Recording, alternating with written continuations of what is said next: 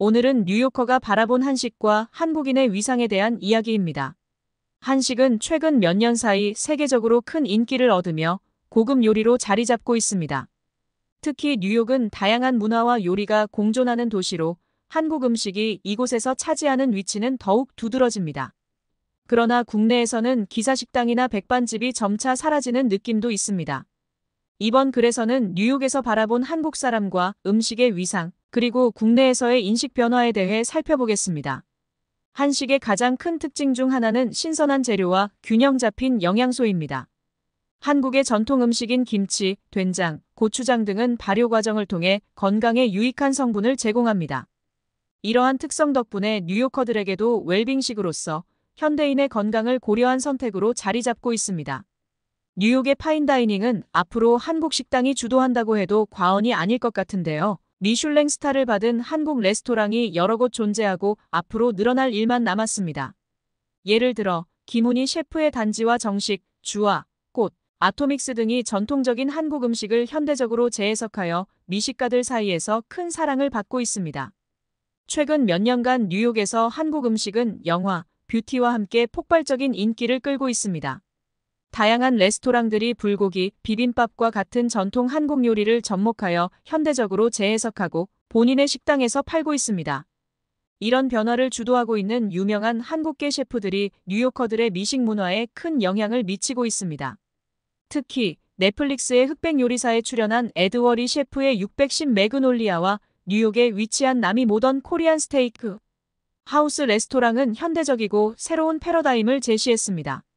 혁신적인 퓨전 요리의 대명사로 알려져 많은 사람들의 사랑을 받고 있는데요. 이러한 레스토랑들은 한식의 매력을 더욱 널리 알리는데 기여하고 있습니다. K-파프과 한국 드라마는 한국 문화를 세계에 알리는 중요한 매개체입니다.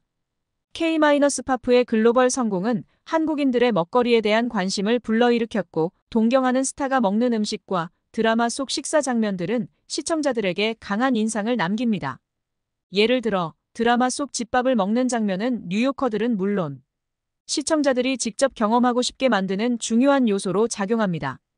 또한 뉴욕 내 우리나라 커뮤니티는 한국 음식의 보급에 큰 역할을 하고 있습니다.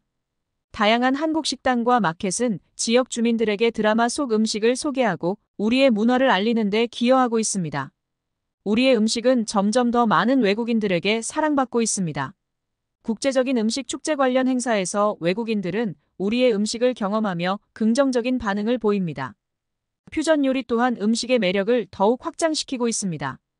예를 들어 미국의 검소한 시골 음식과 동남아시아의 요리에 한국의 재료를 결합한 새로운 요리가 등장하고 있습니다.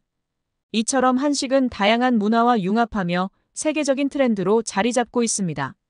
독특한 맛과 건강함은 앞으로도 많은 사람들에게 사랑받기에 모자람이 없다고 생각합니다.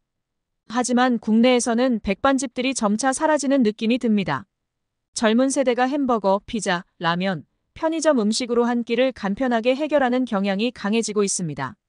대가족이 함께 식사를 하던 옛날과는 달리 현재는 균형 잡힌 식사가 줄어들고 있습니다. 이러한 변화는 한식을 공부하거나 가르치는 사람들에게 악영향을 미치고 있습니다.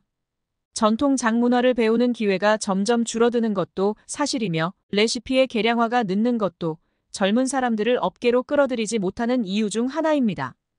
음식의 전통적이고 기본적인 형태는 잊히고 현대적이고 퓨전화된 요리만 남게 되는 상황을 초래할 수도 있습니다. 따라서 한국 음식을 사랑하는 이들은 전통을 지키면서 현대적으로 재해석하려는 노력도 필요합니다. 뉴욕과 세계에서 우리나라 음식은 고급스럽다는 인식이 강해졌습니다. 사람의 손이 가장 많이 들어가는 음식이기 때문입니다. 이러한 이유로 한국 문화의 상징으로 자리 잡고 있습니다.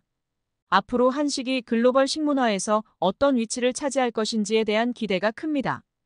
K-파프, 드라마, 영화, 국방, 뷰티 산업 등 다양한 분야와 연결되어 발전 가능성은 무궁무진합니다. 2024년 11월 현재 뉴욕에는 우리나라의 기사식당을 모티브로 개업한 식당이 뉴요커들의 인기를 끌고 있는 반면 서울에서는 백반집이 사라지고 있어 참 아이러니합니다. 한국 음식의 세계적인 인기는 뉴요커들의 사랑과 상관없이 얼마 못 갈 수도 있을 것입니다. 하지만 사람을 먼저 생각하는 음식이라는 본질은 영원할 것입니다. 여러분은 누구를 위해 음식을 만들고 계시나요? 오늘은 여기까지입니다. 소바 강사 키리안이었습니다. 감사합니다.